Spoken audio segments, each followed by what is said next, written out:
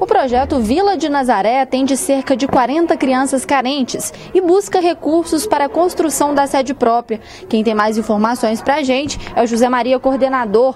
José Maria, o que é esse projeto Vila de Nazaré? Bom, na realidade é um centro de convivência infantil, né, que atende é, famílias que precisam trabalhar e não tem aonde deixar suas crianças.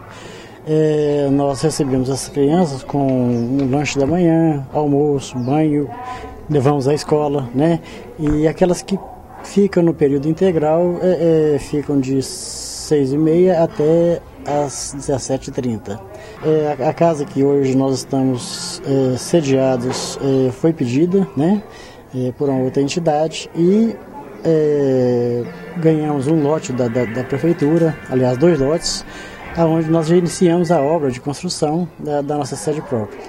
Por isso que a gente está nessa, nessa batalha, buscando aí recursos é, é, em todos os setores da sociedade, para que a gente conclua essa obra e assim pode dar melhor é, uma qualidade né, de, de vida para essas crianças. Quem quiser ajudar deve fazer o quê? Bom, nós temos é, é o nosso telefone, né, que é 3215 5096. Ligando, é, a gente pode fazer uma explanação do nosso trabalho, uma explicação melhor, detalhar, né? É, as pessoas podem também visitar o nosso trabalho a qualquer hora, né? No período de é, horário comercial.